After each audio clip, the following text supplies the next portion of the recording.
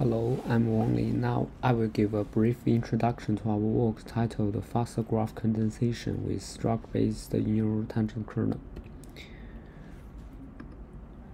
Our goal is to represent the original training dataset with a smaller synthetic graph data while achieving comparable performance. Existing condensation methods typically use the similarity between models as the condensation loss and optimize the synthetic data based on this loss.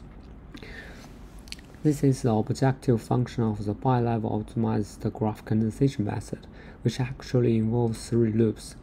The first loop is the inner loop for training the GNN model using synthetic data, and the outer loop computes the gradient matching loss and optimizes the synthetic data.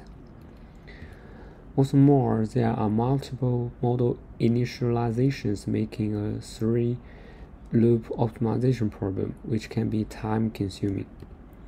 Our proposed method address, addresses this issue by replacing the GNN model with the kernel ridge regression model.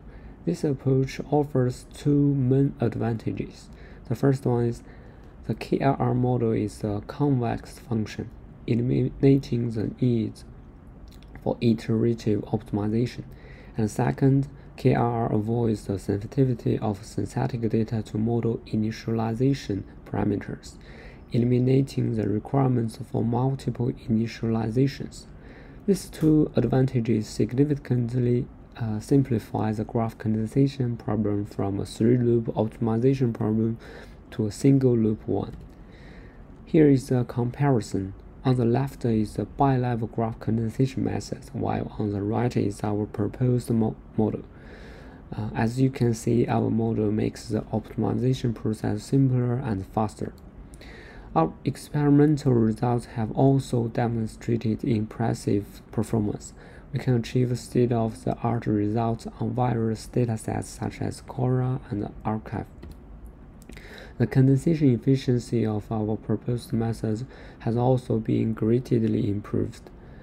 Uh, as shown in the figure, the red line represents our method showing a significant improvement in optimization efficiency.